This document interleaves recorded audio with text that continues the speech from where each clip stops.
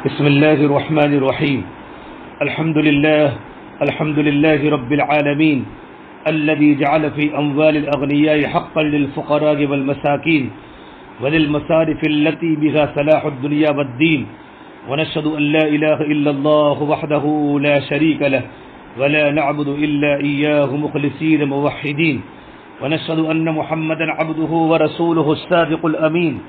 صلى الله عليه وعلى آله وأصحابه والتابعين لهم بإحسان إلى يوم الدين وسلم تسليما كثيرا كثيرا. أما بعد فعوذ بالله من الشيطان الرجيم. بسم الله الرحمن الرحيم. الذين إن مكناهم في الأرض أقاموا الصلاة وآتوا الزكاة وأمروا بالمعروف ونهوا عن المنكر ولله عاقبة الأمور. وقال النبي صلى الله تبارك وتعالى عليه وسلم ما من صاحب ذهب ولا فضة لا يؤدي منها حقها إلا إذا كان يوم القيامة صفحت له سفاح من نار فأحمي عليها في نار جهنم فيقوى بها جنبه وجبينه وظهره كلما ردت أعيدت له في يوم كان مقداره خمسين ألف سنة حتى يقضى بين العباد. فيرى سبيله إما إلى الجنة وإما إلى النار۔ بعد دوستو بزرگو، زکوٰۃ کے بارے میں مستقل ہمارا سبق چل رہا ہے کہ اللہ تبارک و تعالیٰ نے مالداروں پر زکوٰۃ فرض کی ہے۔ اگر مالدار کے پاس اتنا مال ہو کہ ساڑھے سات تولہ سونا یا ساڑھے باون تولہ چاندی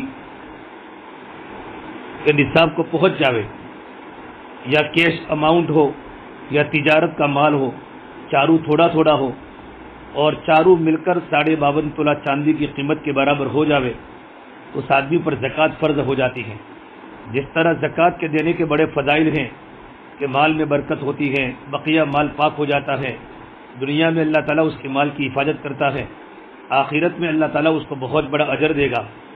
اس طرح زکوٰۃ کا مال بخل کی وجہ سے جو اپنے مالوں کی زکوٰۃ کو ادا نہیں کرتا، اس پر بڑی بڑی وعیدیں ہیں۔ جو میں حدیث پاک پڑھی، اس کا ترجمہ ہے۔ فرم اللہ کے نبی صلی اللہ تبارک و تعالیٰ علیہ وسلم نے، کوئی آدمی جو سونے کا مالک ہو یا چاندی کا مالک ہو اور اس کا حق یعنی زکوٰۃ ادا نہ کرے، لا من کا حق کہا تو قیامت کے دن اس سونے چاندی کے پترے بنائے جائیں گے اور ان کو جہنم کی آگ میں ایسا تپایا جائے گا، گویا وہ خود آگ کے پترے ہیں۔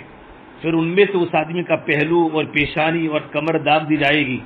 اور بار بار اسی طرح تپا تپا کر داغ دیے جاتے رہیں گے۔ قیامت کے پورے دن میں جس کی مقدار دنیا کے حساب سے پچاس ہزار برس ہوگی، اس کے بعد اس کو جہاں جانا ہوگا، جنت میں یا جہنم میں چلا جائے گا۔ بھائی کتنی خطرناک وعید ہے۔ جہنم قیامت کا ایک دن پچاس ہزار برس کے برابر ایک دن ہوگا۔ صوبان فرماتے رضی اللہ عنہ کہ جتنا سونا چاندی اس کے پاس ہوگا، اس کے ہر قیرات کا جو تقریباً تین رتی کا ہوتا ہے پھیلا کر آگ کا ایک ٹکڑا بنایا جائے گا۔ پھر اس سے اس کے سارے بدن کو منہ سے پاؤ تک داغ دیا جائے گا۔ اس کے بعد اس کی بخشش ہو جائے یا اس کو جہنم میں ڈال دیا جائے۔ اللہ تعالیٰ ہماری حفاظت فرماوے۔ اس سے میرے بھائیو، اپنے مالوں کی زکوٰۃ نکالو۔ اور یہ مشہور روایت آپ نے سنی ہوگی، وہ مال صاف بنے گا، جو اس کے جبڑے کو پکڑ کر کڑے گا، اس کو کاٹے گا اور اس کے جبڑے کو اس کے منہ میں چبائے گا۔ اور یوں کہے گا ان مالو کا وہ کنزو کا میں تیرا مال ہوں، میں تیرا خزانہ ہوں۔ اسی طریقے پر فرما اللہ کے نبی صلی اللہ تبارک و تعالیٰ علیہ وسلم نے، جو کوئی قوم بھی زکوٰۃ کو روک لیتی ہیں، ما منع قوم الزکات الا ابتلاهم اللہ بالسنین اللہ تبارک و تعالیٰ اس کو قحط میں مبتلا فرماتے ہیں۔ آج میرے بھائیو، قبا کی، قحط کی وبا ہم لوگوں پر ایسی مسلط ہو رہی ہے کہ اس کی حد نہیں۔ ہزاروں تدبیریں اس کے زائل کرنے کے واسطے کی جاتی ہے لیکن کوئی بھی کارگر نہیں ہو رہی۔ جب اللہ تبارک و تعالیٰ کوئی وبال کسی گناہ پر اتارے، دنیا میں کس کی طاقت کے اس کو ہٹا سکے؟ اس لیے ایک مرتبہ حضرت عبداللہ بن عمر فرمات رضی اللہ تعالیٰ کہ اللہ کے نبی صلی اللہ تبارک و تعالیٰ علیہ کی وسلم ایک مدرسہ فرمایا، اے مہاجرین کی جماعت، پانچ چیزیں ایسی ہیں، اگر تم ان میں مبتلا ہو جاؤ، تو میں اللہ سے پناہ مانگتا ہوں، اس بات سے کہ تم ان میں مبتلا ہو، تو بڑی آفات میں پھنس جاؤں گے۔ پہلی بات فرمائی، جب کوئی قوم فحش، بدکاری کھلم کھلا زنا میں گناہ مبتلا ہو جاتی ہے تو ان میں ایسی ایسی نئی نئی بیماریاں پیدا ہوتی ہیں، جنم لیتی ہیں، جو پہلے کبھی سننے میں بھی نہ آئی ہو۔ ہم سب کو پتا ہے، خطرناک قسم کی دنیا میں وبا، دنیا میں بیماریاں جنم لے رہی ہیں۔ کہ کبھی اس کا نام بھی لوگوں نے نہیں سنا تھا۔ نمبر دو، جو لوگ ناپ تول میں کمی کریں گے، ڈنڈی ماریں گے خیارت کریں گے، تو اللہ ان پر قحط اور اللہ مشقت ڈالے گا اور بادشاہ کا ظلم مسلط ہو جائے گا۔ آج چاروں طرف ہم پر جو حالات ہیں ظالم بادشاہ ہم پر مسلط ہیں۔ ہم بڑے بڑے اسباب تلاش کرتے ہیں، لیکن جو سب سے بڑی وجہ تو سرکار دو عالم صلی اللہ تبارک و تعالی کی وسلم کی زبان پر ہے کہ ناپتل میں کبھی ہو رہی ہے، بازاروں میں سود چل رہا ہے، ظلم پھیل رہا ہے، ڈنڈی مار رہے ہیں، دھوکہ دیا جا رہا ہے۔ تو اللہ نے ظالم بادشاہ کو مسلط کیا ہے۔ پھر آگے فرمایا، جو کوئی قوم زکوٰۃ کو روک لے گی تو کیا ہوگا؟ ان پر بارش روک دی جائے گی۔ اگر جانور نہ ہو تو ایک قطرہ بھی بارش کا نہ ہو جو کہ جانور اللہ تبارک و تعالیٰ کی مخلوق ہے اور بے قصور مخلوق ہے، معصوم ہے ان کی وجہ تھوڑی بارش ہو جائے گی۔ اور آگے چوتھی بات فرمائی، جو لوگ معاہدوں کی خلاف ورزی کریں گے، ان پر دوسری قوموں کا تسلط ہو جائے گا۔ آج ہم سب جانتے ہیں کیا ہو رہا ہے۔ معاہدوں کی خلاف ورزی ہو رہی ہے اور ان کے مال و متا کو لوٹ لیں گے، ان کی دکانوں کو لوٹ لیں گے۔ اور پانچویں بات فرمائی کہ جو لوگ اللہ کے قانون کے خلاف حکم جاری کریں گے، آج اللہ کا قانون ہے، جہیز مت لو، ساری دنیا جہیز دے رہی ہے۔ اللہ کا قانون ہے، شادیاں سادہ بناؤ۔ ہماری شادیوں میں ہال کو سجایا جا رہا ہے۔ اور بالکل پیسہ، بے دھام اور بے پیسہ اتنا سارا بے جگہوں پر خرچ ہو رہا ہے۔ ان میں آپس میں کھانا جنگی ہو جائے گی کہ غریبوں کو غربت کا حق نہیں ملے گا۔ آج ہم لوگوں کو بڑے غور سے ان عیوب کو دیکھنا چاہیے۔ ان میں سے کون سا ایب ایسا ہے اور کون سی ایسی بیماری ہے جس میں ہمیں اور آپ مبتلا لگی ہے؟ اور ساتھ یہ بھی غور کر لے، جو آفات ان پر بتائی گئی ہے، کون سی آفت ایسی ہے جو ہم پر مسدت لگی ہے؟ حضرت عبد بن عبا صلی اللہ تعالیٰ فرماتے ہیں کہ اللہ کے نبی صلی اللہ تبارک و تعالی وسلم نے فرمایا، پانچ چیزیں پانچ چیزوں کے بدلے میں ہیں۔ کسی نے کہا، یا رسول اللہ، اس کا کیا مطلب ہے؟ تو حضور اکرم صلی اللہ تبارک و تعالی علیہ وسلم نے فرمایا، جو قوم معاہدہ کی خلاف ورزی کرتی ہیں ان پر دشمن غالب آ جاتا ہے۔ جو لوگ اللہ کے قانون کے خلاف حکم کریں گے، ان میں موتوں کی کثرت ہوگی۔ جوان جوان لوگ قبروں میں چلے جائیں گے اور جو لوگ زکوٰۃ کو روک لیں گے، ان پر بارشیں بند کر دی جائے گی۔ اور جو لوگ ناپتول میں کمی کریں گے، ڈنڈی ماریں گے، ان کی پیداوار میں کمی ہو جائے گی اور قحط مسلط ہو جائے گا۔ اللہ تبارک و تعالیٰ بھائی ہماری حفاظت فرماوے۔ اور فرما اللہ کے نبی صلی اللہ تبارک و تعالیٰ علیہ وسلم نے، ما تلف مال فی بر ولا بحر الا بحبس الزکاتی کہ جو مال کسی جنگل میں یا دریا میں کہیں بھی ضائع ہوتا ہے، وہ زکوٰۃ کے روکنے سے ضائع ہوتا ہے۔ یعنی زکوٰۃ ادا نہ کرنے کے جو وبال و عذاب آخرت کے ہیں، وہ تو علیحدہ ہیں۔ دنیا میں بھی اس کا وبال یہ ہوتا ہے، وہ مال کے ضائع ہو جانے کا سبب بنتا ہے۔ ایک اور حدیث میں اس حدیث شریف کے متعلق ایک قصہ نقل کیا ہے۔ خدا عبادہ بن سامد رضی اللہ تعالیٰ فرماتے ہیں کہ اللہ کے نبی صلی اللہ تبارک و تعالیٰ علیہ وسلم مکت المکرمہ میں حتیم کے سائے میں تشریف فرماتے، کسی نے کہا، یا رسول اللہ، فلاں گھرانہ کا سامان سمندر کے کنارے پر پڑا ہوا تھا، وہ ہلاک ہو گیا۔ یعنی سمندر کی موت سے بظاہر ضائع ہو گیا۔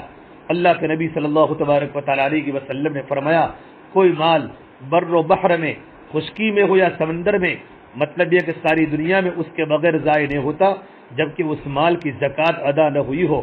زکوٰۃ ادا کریں گے تو اللہ مال کی حفاظت کرے گا۔ پھر فرما اللہ کے نبی صلی اللہ تبارک تعالیٰ علیہ وسلم نے حسن اموال کو اپنے مالوں کی زکوٰۃ ادا کرنے کے ذریعے حفاظت کیا کرو اور اپنے بیماروں کا صدقے کے ذریعے علاج کیا کرو اور اچانک اور بڑی بڑی مصیبتوں کو دعا کے ذریعے ہٹایا کرو کہ دعا اس مصیبت کو زائل کر دیتی ہے جو آ پڑی ہو اور اس کو بھی روک لیتی ہے جو ابھی تک نہ آئی ہو۔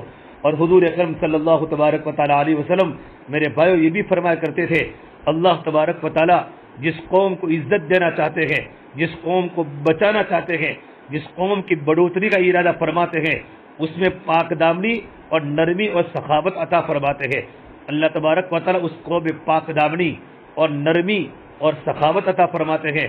اور جس قوم کو اللہ ختم کرنا چاہتا ہے، روئے زمین سے اور فنا کرنا چاہتا ہے، تو اللہ اس میں خیانت پیدا فرماتے ہیں۔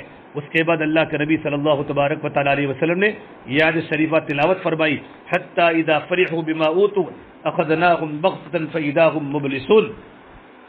کتنی بڑی خطرناک بات ہے یاد شریفہ بڑی عبرت کی آیات ہے کہ اللہ تبارک و تعالیٰ کی نافرمانیوں کے باوجود بھی فلما نسو مادب کی روبے کی فتح علم ابواب کل اگر کسی قسم کی سختی کے بجائے ایش و عشرت اور راحت کے سامان بڑھتے رہتے ہیں، دنیا بڑھتی رہتی ہے تو یہ زیادہ خطرے کی چیز ہے۔ ایک حدیث بھی آیا ہے۔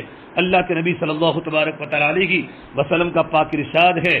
جب تو یہ دیکھے کہ کوئی آدمی اپنے گناہوں پر مصر ہے، گناہ کرنے والا ہے، تب بھی اس پر دنیا کی وسعت ہو رہی ہے، دکانیں بڑھ رہی ہیں، مال میں ترقی ہو رہی ہے۔ تو یہ اللہ تبارک و تعالیٰ کی طرف سے ڈیل ہے۔ پھر اللہ کے نبی صلی اللہ تبارک و تعالیٰ علیہ وسلم نے یہی آیت فلما نسو مادب کی روبی تلاوت فرمائی۔ اور میرے بھائیو، حضرت حاضم رضی اللہ سے نقل کیا گیا۔ جب تو یہ دیکھے کہ تو اللہ کی نافرمانی کر رہا ہے اور اس کی نعمتیں تجھ پر لگاتار ہو رہی ہے تو اس سے ڈرتا رہے۔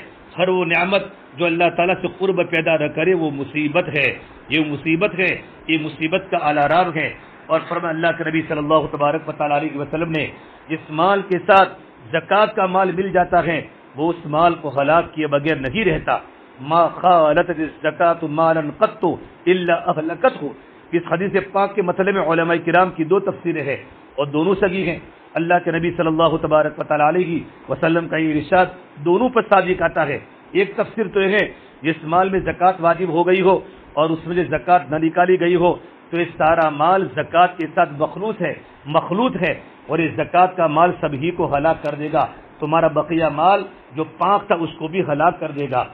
اور ایک اور اس کی دوسری تفسیر حضرت احمد ابن حنبل رحمت اللہ سے نقل کی گئی ہے کہ جو آدمی خود صاحب نصاب ہے، ساڑھے باون تولا چاندی، یا اس کی قیمت کی کوئی چیز اصلی ضرورت سے زائد اس کے پاس ہے یعنی صاحب نصاب ہے، پھر وہ اپنے کو غریب ظاہر کر کے کسی سے زکوٰۃ کا مال لے، تو یہ مال اس کے پاس جو اپنا اصلی مال پہلے سے تھا، اس کو بھی ضائع کر دے گا۔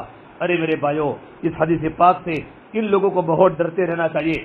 جو صاحب نصاب ہونے کے باوجود، مالدار ہونے کے باوجود لوگوں کی زکاتیں لیتے رہتے ہیں۔ یہ زکوٰۃ کا مال ان کے اصلی مال کو بھی فنا کر دے گا۔ اور تھوڑے سے نفے کی خاطر بہت سا نقصان برداشت کرنا پڑ جائے گا۔ پھر چاہے چوروں کو گالیاں دیتے رہیں یا ظالموں کو بد دعائیں دیتے رہیں اپنی حرکت کی بدولت مال چلا ہی جائے گا۔ اور ایسی حالت میں وہ مستحق نہ تھا۔ لینے کا گناہ تو سر پر ہی رہے گا۔ اسے میرے بھائی اللہ نے مال دیا ہے۔ اپنے مالوں کی زکوٰۃ کو ادا کرے۔ مال کی زکوٰۃ ادا نہ کرنے پر دنیا کے اندر مال پر ببال آئے گا اور آخرت میں اس کے لیے بڑی بڑی وعیدیں ہیں۔ پروردگار عالم، ہمیں اس فریضے کو ادا کرنے کی توفیق دے۔ اور اللہ تعالیٰ کی رضا کے لیے، اللہ کی خوشنودی کے لیے ہم زکوٰۃ کے مال کو ادا کرے یہ غریبوں کا حق ہے۔ اور اللہ نے بہت کم زکوٰۃ ادا کی ہے۔ ڈھائی فیصد، صرف ڈھائی فیصد۔ انسان پر بوجھ نہیں ہونا چاہیے۔ اور جو لوگ بوجھ کر کے زکوٰۃ کو نکالتے ہیں، تو فرما اللہ کے نبی صلی اللہ تبارک و تعالیٰ علیہ وسلم نے ان قریب علامت قیامت میں ایک علامت بتائی الزکات مغرمہ، کہ لوگ زکوٰۃ کو تاوان اور ٹیکس سمجھ کر دیں گے، اللہ کا حکم سمجھ کر نہیں دیں گے۔ پروردگار عالم، ہمیں اللہ کا حکم سمجھ کر اپنے مالوں کی زکوٰۃ کو ادا کرنے کی پروردگار عالم توفیق عطا فرماوے۔